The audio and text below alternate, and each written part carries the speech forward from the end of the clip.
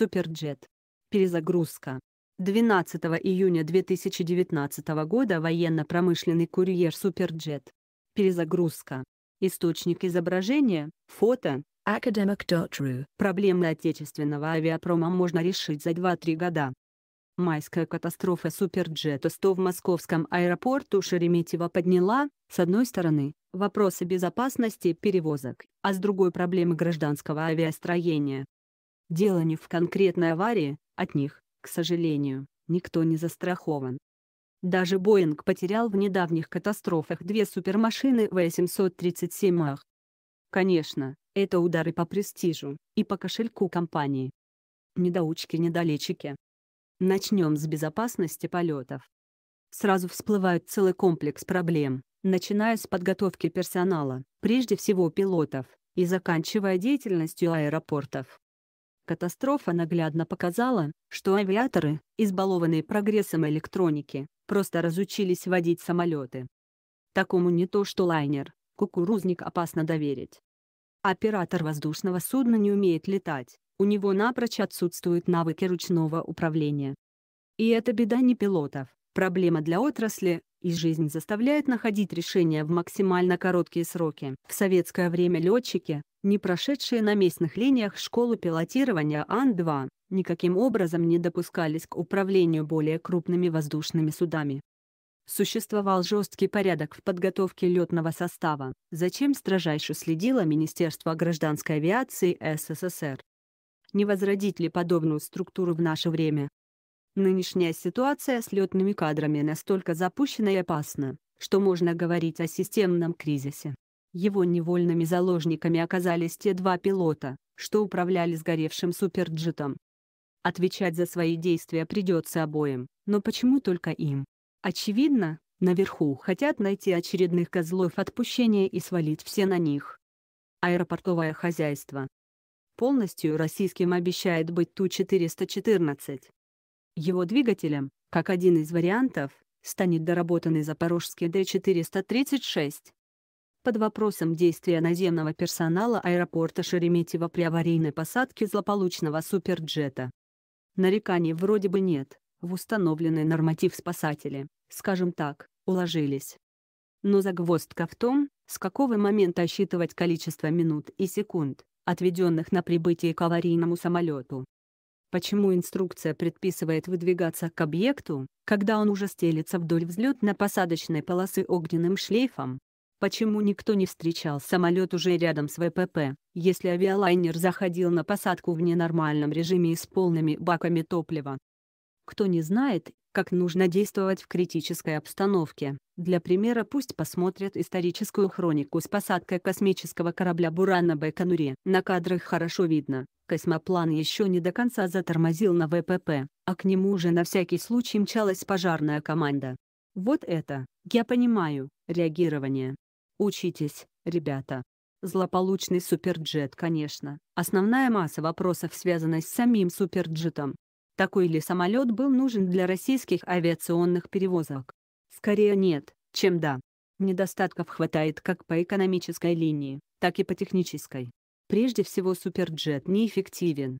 В рыночной экономике, когда авиакомпании научились считать деньги, данный фактор является не настолько мелким, чтобы им просто пренебречь. Надежность самолета заметно хромает, Именно поэтому и наши, и иностранные компании не торопятся брать его в авиапарк. А те, что взяли, начинают задумываться, а не вернуть ли самолеты назад лизинговой компании. Особенно много нареканий к французско-российским двигателям. SAM-146 которые часто выходят из строя и вызывают непредвиденные простои воздушных судов. Какому перевозчику такое понравится? Новый двигатель, старые грабли, Главная задача — найти выход из сложившейся ситуации и воспользоваться им с минимальными потерями. Каким бы ни был суперджет, в одночасье прекратить его выпуск — опрометчивое решение. Во-первых, это ударит по престижу отечественного авиапрома. Во-вторых, прекращение производства ударит по заводам-производителям, начиная с Комсомольска на Амуре кончая поставщиками комплектующих. Возникнут никому не нужные социальные проблемы, в-третьих, что, наверное, самое неприятное, можно спровоцировать массовый отказ от уже произведенных самолетов. Иными словами, как бы непродуманными действиями не создать на ровном месте кучу дополнительных проблем. Предлагается, не наращивая выпуск, доработать Суперджет в сторону постепенного увеличения в его конструкции доли отечественных комплектующих, тем более что тенденция такая уже обозначилась. Первым делом заменить ненадежный, часто выходящий из строя двигатель. SAM 146. Если заручиться поддержкой государства, что реально, можно форсировать разработку отечественного двигателя ПД-7. Когда Суперджет станет более российским и надежным, спрос на него увеличится. Нет сомнений, что, к примеру, Иран закупит сразу несколько десятков машин. Другой момент касается планов выпуска самолета меньшей размерности, до 75 мест, поскольку для многих внутренних авиалиний 100-местный салон велик. О том, что Суперджет со своими 98 креслами вовсе не оптимален по вместимости, говорилось многократно. Год назад бывший тогда вице-премьером Дмитрий Рогозин пообещал, что правительство выделит из резервного фонда 6 миллиардов рублей на разработку укороченной версии SSJ-75, рассчитанной на 75 пассажиров. Но не стоит наступать на старые грабли, доверяя разработку тому же коллективу и на основе не совсем удачного суперджета. Более логичным и оптимальным вариантом выглядит передача заказа на разработку нового самолета для региональных линий другому исполнителю, а именно ПАО «Туполев». Прежде всего потому, что туполевцы прилично продвинулись в данном направлении. Ими уже разработаны проекты самолетов Ту-324 и Ту-414 на 56 и 76 пассажиров соответственно. Они максимально унифицированы между собой, отличаются только двигателями, крылом и длиной фюзеляжа. Причем разработчики даже выполнили полноразмерный макет Ту-324, а на Казанском КУМПа для него изготовили опытные образцы двигателя АЭ-22, разработанного в Запорожье. На подготовку производства было затрачено порядка 100 миллионов долларов, но тут вмешался Суперджет и перекрыл остальным дорогу в небо. Полностью российским обещает быть и Ту-414. Его двигателем, как один из вариантов, может стать доработанный запорожский Д-436. Две модели этого двигателя устанавливаются на самолеты Ан-148 и Бё-200.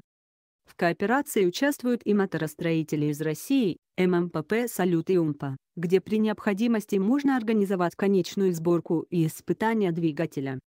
Выпускать самолеты планировалось на Казанском авиазаводе.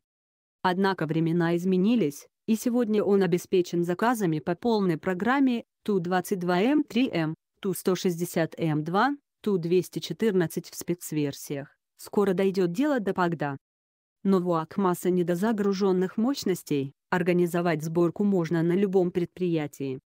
Следует добавить, что оба самолета проектировались в цифре, поэтому любые изменения в проект для приведения его в соответствие с новыми требованиями могут быть внесены относительно быстро и безболезненно. Они будут чисто российскими почти на 100%, значит, дешевле и доступнее зарубежных аналогов. Сегодня в этой размерности наше небо бороздят конкуренты от канадского бомбардье и бразильского Эмбрера. Пора бросить им вызов. Проблемы суперджета, будем объективны, решаемы с помощью государства, которое больше всех заинтересовано в минимизации репутационного и экономического ущерба, реально исправить положение в ближайшие 2-3 года. Главная общая заинтересованность плюс слаженная работа всех – чиновников, инженеров, рабочих. Владимир Волгин.